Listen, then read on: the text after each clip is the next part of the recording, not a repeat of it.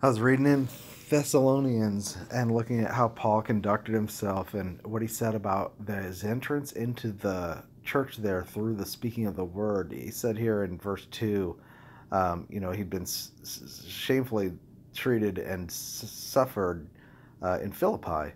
Then he said, We were bold in our God to speak to you the gospel of God with much contention for our exhortation was not of deceit, nor of uncleanness, nor in guile, but as we were allowed of God to be put in trust with the gospel. Even so we speak, not as pleasing men, but God which tries our hearts. For neither at any time did we use flattering words, as you know, or a cloak of covetousness, God is witness nor did we seek glory of men, neither of you, nor yet of others, that we could have been burdensome as apostles of Christ, and we were gentle among you. It keeps going on, but uh, what I noticed here, well, a few things. First of all, they had to be bold to speak in the midst of much contention and with much contention. You know, in Thessalonica, there were a lot of uh, old guard religionists, meaning the Jews at that time, who opposed this new thing that was happening. And for that reason, Paul had to be quite strong in his proclamation. And that can come across like uh, pride or something like that, you know. But um, especially when you're doing it with much contention, that means you're arguing on every side. It's not just, oh, Jesus loves you, you know, God's got a plan for your life or something like that. No, this was a bold declaration of truth while contending and uh, with and exposing error on every side from real enemies of the gospel. Uh, and he says, Our exhortation was not of deceit or uncleanness or in guile, but we were allowed of God to be put in trust with the gospel. How do you know if you've been allowed of God to be put in trust with the gospel? Well, you have to be able to speak the truth. Uh, it's not a small thing to speak the word of God in a way that actually delivers people from various forms of error and uh, actually brings people out of bondage. That's not something that you can do by yourself. You have to be uh, standing in the Lord and not trusting in yourself. This is not about a display of human wisdom or eloquence. It's something deeper than that um, that comes out of the being of someone whose focus is and and loyalty is on the word and the word is first and foremost. And they're willing to pay a price because of the word. And they're not going to water it down and they're not going to compromise it to please people which is why he said we didn't use first of all um, we, we speak not as pleasing men but god which tries our hearts.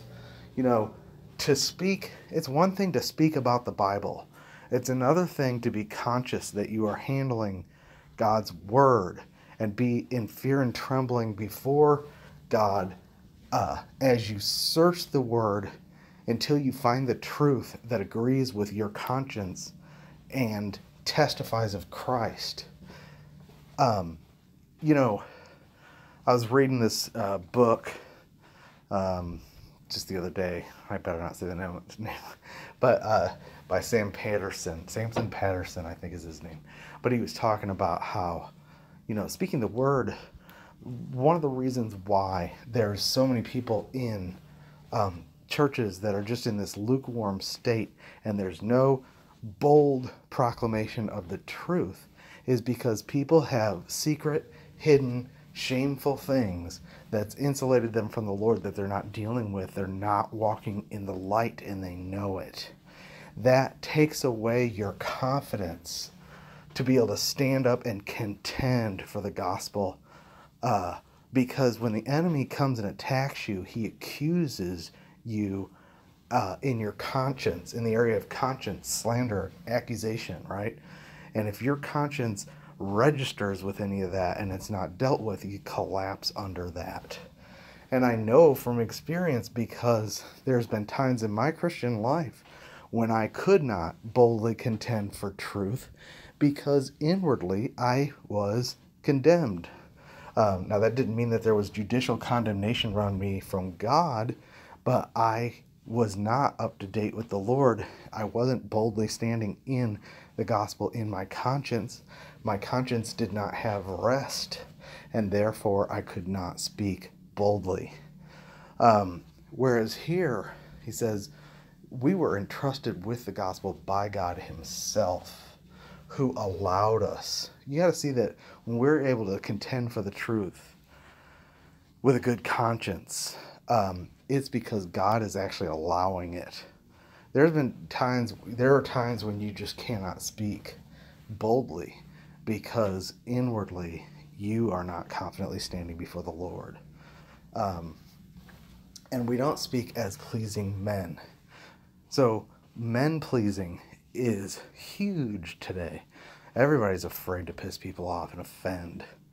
Uh, and for that reason, people back down and say, well, that's a secondary issue. I don't feel like touching that. I'm not going to deal with that, especially if they want to stay friends. No, God needs people who say, I don't care about having friends. I don't care about my reputation. I don't care about the accusation. I don't care about the slandering. I don't care about what people say about me. I'm not here to please men. If I was, I would not be a servant of God. I'm here to speak the word of God. And this is why Paul always asked people to pray for him that he would have utterance to speak the mystery of Christ. Because it takes a supernatural strengthening from within to not collapse under uh, the desire to please people. You know, I mean, there are so many topics to contend with and so many groups of people caught up in those things that all have to be exposed. And every time you expose one of these things and bring someone into rest, you've pissed off 30 other people. Uh, but it's worth it. Um, anyway, he says, as uh, God tries our hearts. And he says, For neither at any time did we use flattering words. You know, we live in a culture that leads with flattering words, where we say, Hey, man, you're doing awesome. Great job. You know, uh, whether they are or not, people, people say, You know, I'm going to do this stupid thing, you know. And there's like, oh, good job, man, great stuff. Even though inwardly they're thinking, uh oh, you know, no, uh, we can't be like that if we're going to speak the word of God. Uh, flattering words. He says, uh, we didn't use them at any time, as you know. In other words, these people knew Paul and knew that he was not a flatterer. And some people don't like it. You're not a flatterer. You don't uh, hold it back, you know. You don't soften it. You don't change it. You don't adulterate it. You speak the word. Um, it's a two-edged sword, and and we don't always land on the right side of that two-edged sword, but it's there to heal us and to divide out error if we will submit to it. But if we rebel against that word, it cuts us down. And when it cuts us down, if we don't repent, then we harden ourselves in the flesh and then we just become a tool of the enemy until we do repent. so you want to be on the right side of that sword. Uh, he says, We didn't seek glory of men, um, neither from you nor others. We, they could have been burdensome, you know, but he said we were gentle. Uh, so being affectionately desired of you, we were willing to have imparted to you not the gospel of God only, but also our own souls, because they were dear, you were dear to us. For remember, brethren, our labor and travail, laboring night and day, because we would not be chargeable to any of you. We preached unto the unto you the gospel of God. Um, it's on my conscience to speak the way I speak uh, when I see something that is in uh, that that people are dealing with that's adulterating their heart and dividing their heart and taking them away from Christ as their first love and onto other things. And so I speak to it and I warn and I contend and I don't do it with flattery and I'm not doing it to please men. Uh, you know, I make some jokes and stuff like that sometimes because that's who I am. But I am dead serious about my speaking on this channel. And my purpose is not just to present the milk, but the meat to help bring people into rest, uh, to really have a satisfied conscience, to be able to stand confidently before the Lord just as they are, apart from any works.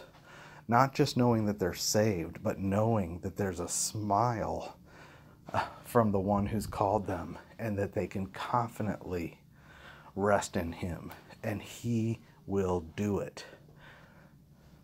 Uh, okay, well, I gotta get going.